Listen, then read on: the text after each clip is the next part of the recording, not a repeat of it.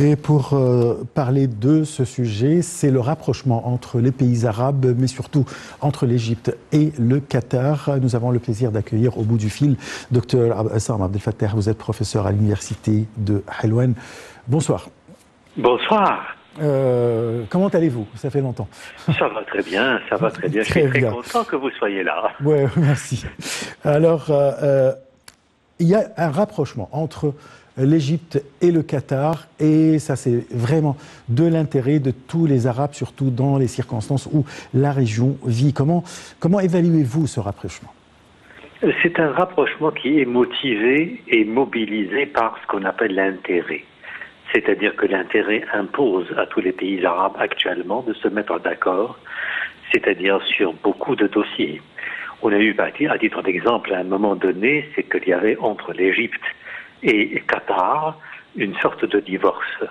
Une divorce étant donné que, parce que nous savons très bien que les frères musulmans étaient soutenus par Qatar, la Turquie aussi est soutenue par Qatar. Il y a toujours un, soutien réciproque entre les deux pays. Donc on peut dire qu'il y a eu un axe composé de trois, trois simplement côtés. C'est les frères musulmans, Qatar et la Turquie. Et c'est le même problème s'est posé entre Qatar et les Émirats et aussi l'Arabie saoudite. Donc une fois qu'il y a eu certainement des médiateurs, comme par exemple le Koweït qui est intervenu pour rapprocher les points de vue entre les pays et que les, après le sommet de l'Ola, Là, vraiment, ces pays se sont rendus compte que des changements rapides dans la région, changements qui leur imposent, en fait, de se mettre d'accord ou bien de rapprocher leurs points de vue sur les questions épineuses comme par exemple le soutien des frères musulmans. On sait très bien que les frères musulmans aussi, euh, actuellement, eux, ils n'étaient pas tout à fait vraiment une partie qui fait plaisir à l'Arabie saoudite. Oui, et puis après, on a vu sur le plan médiatique, le plan médiatique, l'Égypte était ciblée par les médias de Qatar. Le Jazira, à titre d'exemple.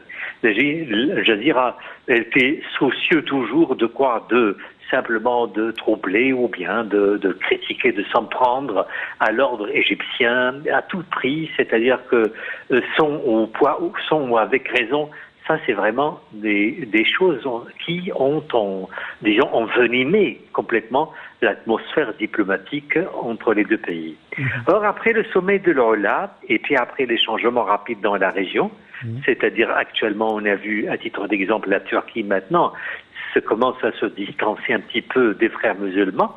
Et puis après, c'est-à-dire toujours question d'intérêt, parce que l'intérêt de la Turquie, c'est quoi?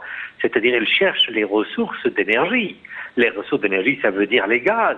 Et si donc et après cette le ce qu'on appelle ici la délimitation des frontières entre ici l'Égypte et la, la Grèce, la Libye, la Turquie certainement est privée complètement des ressources énergétiques et actuellement il y a des troubles, troubles à l'intérieur. Il y a des problèmes économiques voyez, l'intérêt économique impose à la Turquie quand même d'ouvrir, enfin de tourner la page du passé, et puis à ouvrir une nouvelle page avec l'Égypte.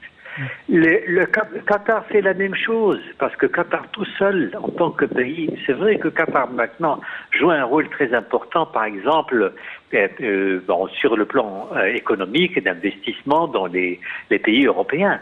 Mais euh, vous savez que la logique de l'intérêt, la logique pragmatique, est s'il l'emporte sur toute autre logique. C'est-à-dire, Qatar sera gagnante, à mon avis, si elle se rapproche de l'Égypte. L'Égypte, c'est un pays clé de la région. Regardez à titre d'exemple le dossier de Gaza. Aucun pays arabe ne pouvait jouer le rôle de médiateur comme l'Égypte. Ça, c'est très important.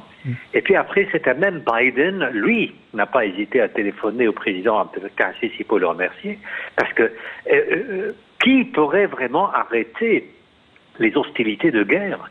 Après la, dernière guerre entre Hamas et aussi euh, Israël.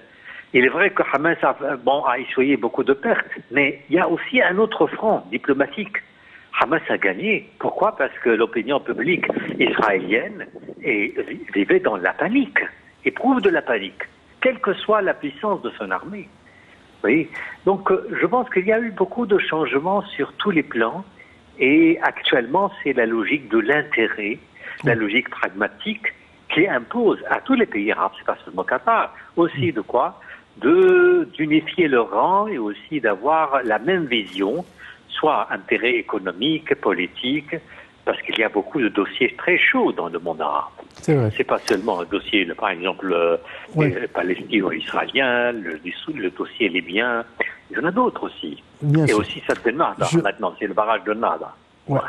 Merci beaucoup parce qu'on n'a plus de temps, mais euh, c'était vraiment un plaisir de vous entendre euh, les explications et les analyses.